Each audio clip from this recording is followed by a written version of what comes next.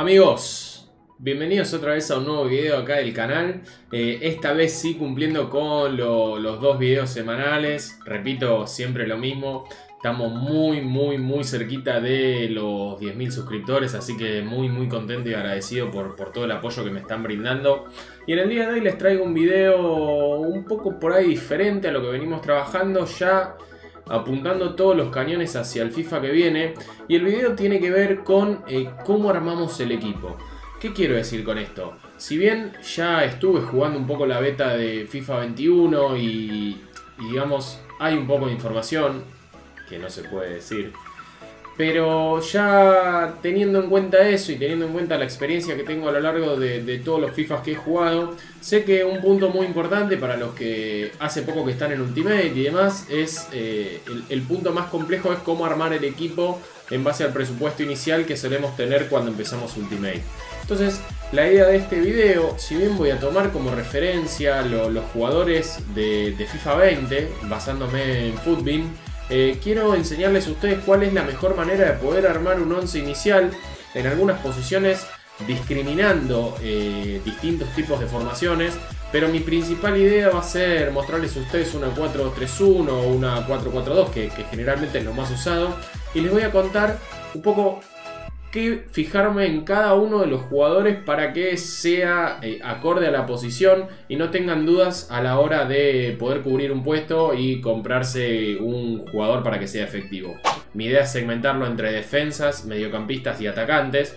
Entonces hoy voy a hacer arquero y defensa, por lo que si a ustedes les gusta este tipo de videos y creen que los puede ayudar para formar el equipo en el FIFA que viene, creo que puedo pedir unos 500 likes y me va a dar eh, la, pauta de que quieren que siga con los mediocampistas. Si no les gusta, podemos optar por otra opción. Así que espero que el video les guste y vamos. Y el primer puesto que, yo creo que es súper importante es la elección del arquero. Si bien ustedes pueden ver por pantalla que yo el ejemplo que tomo es Ter Stegen, es eh, digamos, para muchos uno de los mejores arqueros del juego y a lo largo de todos los FIFA, por lo menos desde el 17 que yo vengo jugando, lo más importante a la hora de elegir los arqueros no es tanto los atributos que tiene o, los stats que tiene, sino que lo más importante es fijarse un poco en los traits que tiene cada arquero. ¿Por qué les digo esto?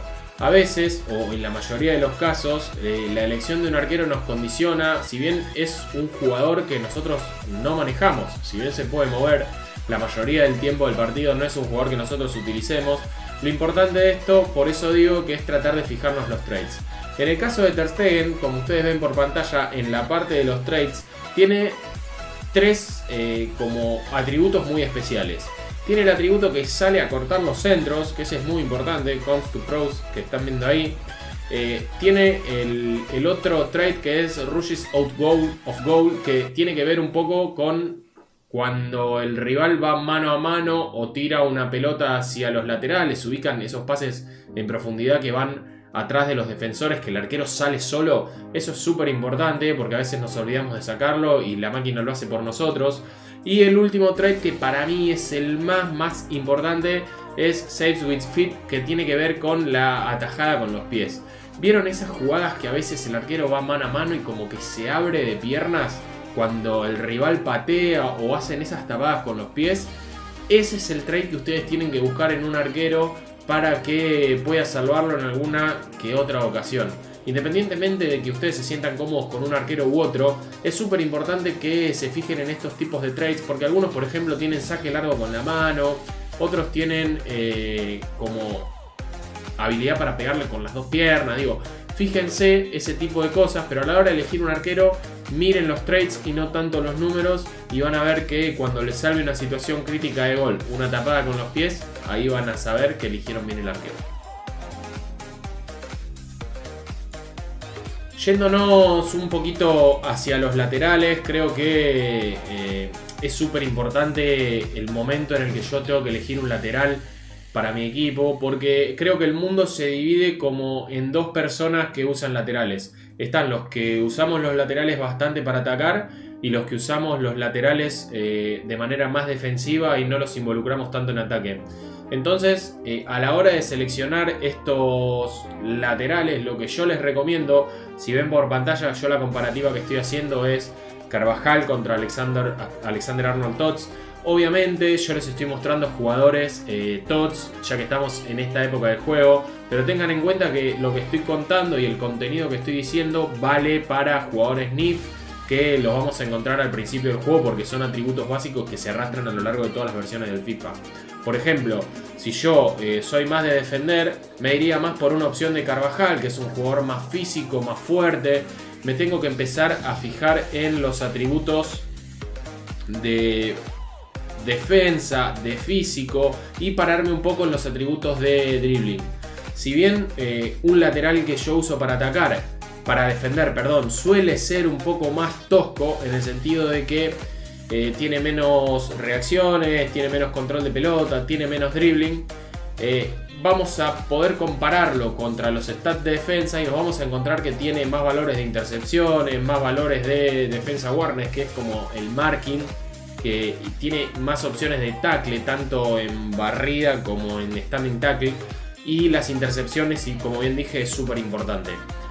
A la hora de, elegir un lateral, lo importante también es detenernos en la parte de los pases. Si yo suelo, como ustedes saben, se usa mucho el pase por, por, fuera de los mediocampistas del rival.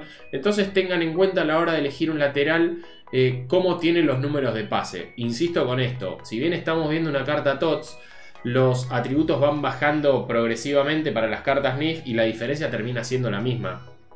Quiero decir, si usan mucho el pase por la banda, por ejemplo, fíjense eh, los atributos y los stats de pase largo, fíjense la curva que tiene que ver con la comba que hace la pelota para llegar a, a mi destino, que es quizá mi MI, MD, MCO por afuera. Pero a la hora de elegir tanto uno defensivo como ofensivo, traten de comparar lo más importante que tiene que ver con los stats de dribbling. Si ustedes eh, quieren un jugador que se involucre más en el ataque y lo usen para gambetear, fíjense que en este caso Alexander Arnold sería la mejor opción, dado que tiene buenos eh, stats en reacciones, control de pelota, dribbling, comparado con Carvajal, que por ahí tiene muchos más stats defensivos que de, agilidad. Entonces, eh, esto es súper importante a la hora de elegir un lateral y lo va a determinar por su juego y por cómo ustedes juegan.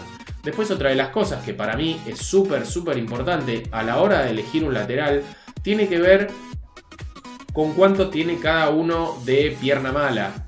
Eh, ¿Por qué digo esto? Con los laterales eh, solemos hacer muchos cambios de frente, eh, solemos retroceder y jugar hacia el otro lado. Entonces es súper importante considerar eh, el pie hábil y la pierna no hábil que tiene cada uno. En este caso yo creo que para un lateral con 3 de pierna mala es un número bastante aceptable para poder eh, elegirlo. En este caso tanto Carvajal como Arnold tienen 4 de pierna mala.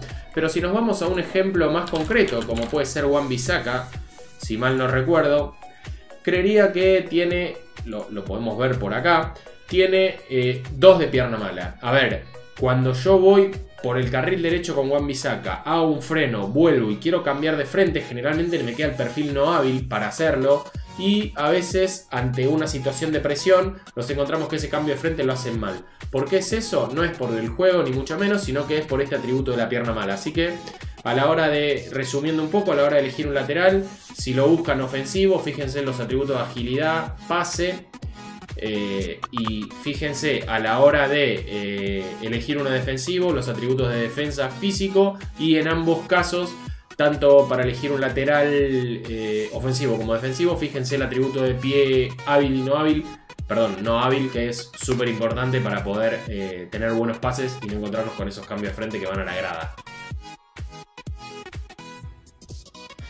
Ya yendo un poco a los centrales y, dando un cierre como este primer video de, elección de equipo, yo creo que, o por lo menos lo que en mi experiencia me sirvió a la hora de, elegir los centrales, yo lo que trato de hacer es tratar de elegir un central fuerte, eh, consistente y uno un poco más rápido y ágil. En este caso, obviamente, yo estoy tomando dos cartas TOTS, que son la de Barán y Ramos, que eh, son las dos cartas muy muy buenas a esta altura del juego, pero lo mismo que les dije antes, si lo traspolamos a su versión NIF, eh, los atributos siguen siendo los mismos, entonces a la hora de elegir un central, como yo digo, en este caso yo para velocidad y central ágil, elijo a Barán y para mi central fuerte elijo a Ramos. ¿Qué es lo que yo tengo que fijarme a la hora de elegir un central? Hay varias cosas que tengo que prestar atención, pero lo más importante, creo, para cualquiera sea la elección de estos centrales, es tratar de fijarnos en la agilidad, en primer punto, eh, a la hora de, ya cuando un central tiene más de 70 agilidad, es un número bastante aceptable. Por debajo de ese valor termina siendo como un poco tronco, ¿no? Como que se mueve lento por la cancha. Otra de las cosas que para mí es un pilar fundamental a la hora de elegir un central tiene que ver con el balance. El balance, ¿qué es lo que me determina? Cuando el central va corriendo a la par con otro jugador, quien tenga más balance de ambos jugadores va a ser el que predomine y quede de pie ante un cuerpo a cuerpo. Obviamente, esto siempre se lleva a más o menos, no sé, de 10 situaciones, en 7 va a ganar quien más balance tenga. Entonces tengan en cuenta eso, por eso eh, Barán en este caso tiene como poco balance comparado con otros jugadores, pero un poco lo complementa con su velocidad. Entonces, por eso yo a la hora de elegir centrales elijo uno rápido y uno un poco más, más fuerte. Eh, otra de las cosas que para mí hay que tener en cuenta en un central son los atributos de pase, que la verdad es que muchos eh, no, no, le prestan atención, pero para mí son súper importantes. A la hora de salir desde abajo es muy muy importante que los centrales tengan un buen pase corto porque siempre o generalmente hay situaciones en las que tenemos que salir rápido y nos encontramos con que se la pasamos al rival que está con el mediocentro de nuestro campo y se termina transformando en una situación de gol para el rival. Entonces, también resumiendo esto, a la hora de elegir centrales, les recomiendo que hagan la composición de uno fuerte con uno rápido, que traten de fijarse los atributos de pase y lo más importante que traten de fijarse que en cuanto a lo que refiere a balance, agilidad, eh, dribbling, control de pelota, tengan números considerables. ¿Por qué? Porque si ustedes eligen un central que quizá tiene muy buenas estadísticas de defensa, pero después eh, caminando o moviéndose es muy poco ágil, les va a terminar eh, trayendo consecuencias negativas para lo que es el desarrollo del partido. Entonces, un jugador ágil, con buena compostura, reacción, balance y demás, puede suplir las deficiencias que puede llegar a tener en defensa. Que si bien lo más importante de la defensa es el tackle, el, tackle y la barrida, eh, también los valores de marking, intercepciones entran un poco acá en el juego y, pueden hacer que cambie la, vara si el jugador es bueno o malo. Entonces, eh, tengan en cuenta eso, tengan en cuenta el pase y tengan en cuenta que a la hora de elegir un central, la mejor combinación es fuerte y ágil. Y bueno amigos, eso ha sido todo por lo menos por este primer video, como un consejo que, yo les traigo para que ustedes puedan armar su equipo. Eh, esto, como siempre digo, no es palabra sagrada ni mucho menos, es la manera en la que yo armo mis equipos y la manera que a mí me ha servido para poder eh, ir mejorando paso a paso y no tener tanta duda a la hora de armar el equipo. Veo mucha gente que tiene mil dudas eh, a la hora de seleccionar el jugador correcto y creo que esto eh, es una muy buena herramienta para que ustedes puedan elegirlo por, eh, decisión propia y no, dudar al respecto. Y como les dije antes, si este video les gustó y creen que podemos avanzar con los mediocampistas, espero simplemente 500 likes y vamos a avanzar con el segundo video que ya ahí hay más variantes. Si el video no les gustó, podemos ir por otra opción. Les escucho recomendaciones o, lo que sea en los comentarios. Ustedes saben que siempre trato de hacer cosas que a ustedes les sirvan y que no sean productivas para todo lo que viene en FIFA 21. Así que espero que este video les haya gustado. Como siempre les digo, denle like, suscríbanse que es totalmente gratuito. Y activen la campanita para saber cuándo hago directo. Los espero en el próximo video. Espero que les haya gustado. Chao.